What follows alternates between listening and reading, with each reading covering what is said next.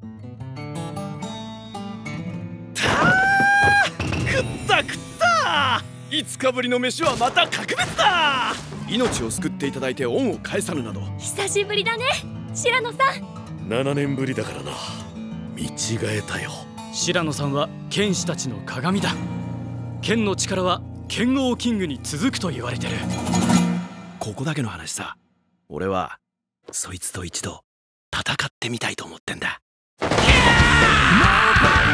れが狙いだったのか。竜の角笛は渡さね。え私に戦わせてくれないか。ドラゴンと。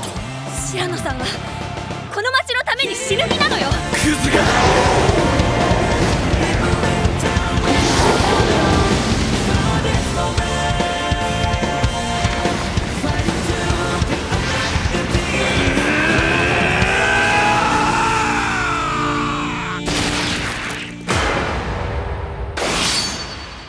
言ったろ。